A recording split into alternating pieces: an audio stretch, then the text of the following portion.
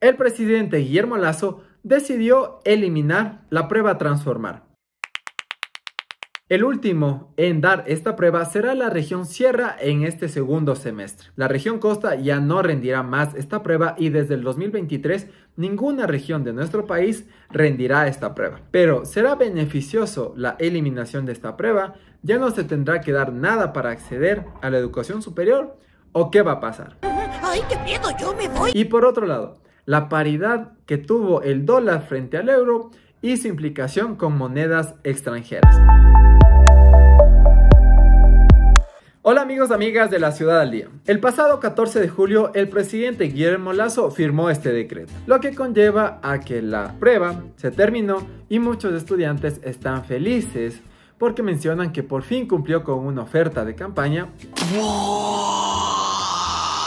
en eliminar esta prueba que consideraban es una traba para poder acceder a la educación superior porque el sistema te asignaba la universidad y te asignaba la carrera y que eso no es lo que tú querías y así pues el Prezi cumple con su oferta de campaña. La realidad es muy distinta. ¿Caíste? Porque ahora los procesos de admisión serán llevados por cada institución superior, es decir, por cada universidad o instituto público. De esa manera, la universidad podrá definir cuáles son las pruebas, etapas, procesos, como tú lo quieras llamar, que debes pasar para obtener el cupo en la carrera que tú deseas. De esta manera, vemos cómo eliminar la prueba transformar no significa un libre acceso a la educación superior. Como se diría, hemos sido timados. ¡Fuimos timados! ¡Timados! ¡Embaucados! ¡Fuimos embarajiñados! Esto ni siquiera existe, pero concuerdo contigo. Porque a esto se suman problemas que en sí tienen las universidades públicas, a nivel de infraestructura, a nivel de planta docente, a nivel de aulas, de laboratorios. Porque ¿cómo puede ser posible de en una institución pública se tenga calculado 40.000, 50.000 estudiantes? Esta capacidad es la máxima que puede recibir y ya no podrá, por más que quiera, aumentar la recepción de estudiantes porque simplemente se verán aulas 60, 70, 80, 90, 100 estudiantes y que esto provocará que muchos deserten en el proceso y más allá de lo que significa que pudieron ingresar, terminarán siendo un costo para la universidad. La vida está llena de decepciones. Porque si bien los que ingresan a la universidad pública no terminan costeando la carrera directamente en costos de matrícula, etc., pues sí termina siendo un costo para el Estado que es retribuido para los profesores. Así que super pilas con esta cuestión en donde el acceso a la educación superior no es libre. Lo sospeché desde un principio. En donde existirá procesos de admisión llevados ahora de manera independiente por las universidades, pero tocará ver qué pasa si tal vez se les asigna mayor presupuesto para que puedan aumentar la infraestructura y de esa manera puedan aumentar la capacidad de estudiantes que pueden recibir.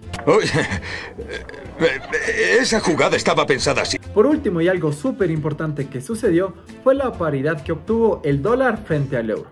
Se va a poner emocionante, épico. ¿Qué quiere decir? Haz cuenta que tu familiar te llama, que tienes en Europa y te dice, te voy a mandar 50 euros.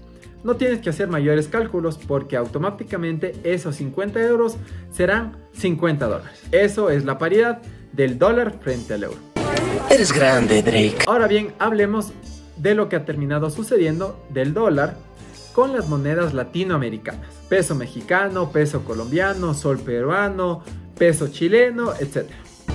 Acábalo. Lo que termina pasando es una situación de beneficio para nosotros y tal vez perjuicio para estos países. Ahora sí, ya valieron más. Porque a nivel de importaciones a nosotros nos resulta mejor pues simplemente comprar en los países vecinos, países extranjeros, como es el caso de Colombia, en donde un dólar aproximadamente está en 4.800 pesos colombianos. ¡Puta, qué ofertón! De esta manera nosotros con el dólar podemos darnos cuenta cuántos bienes, productos estoy comprando con este país. Y esto se conoce como un tipo de cambio real, en donde con mi moneda me estoy dando cuenta cuántos bienes o servicios compro en un país extranjero. Pero a nivel de exportaciones, esto no nos beneficia. ¿De qué hablando, Mo? Porque simplemente ahora es un poco más caro comprarnos a nosotros o a los países que manejan como moneda oficial el dólar porque simplemente los países se verán en la obligación de sacar más dinero de sus bolsillos para comprarnos la misma cantidad que les veníamos vendiendo regularmente. Hay destinos peores que la muerte. Así que súper interesante esta situación de la paridad entre el dólar, el euro y las consecuencias o las implicaciones que tiene con otras monedas extranjeras. Y sobre todo muy importante porque es algo que pasa después de 20 años de donde hemos visto subidas y bajadas o peleas entre el dólar y el euro. Así que esperemos, veamos qué termina pasando con esta situación.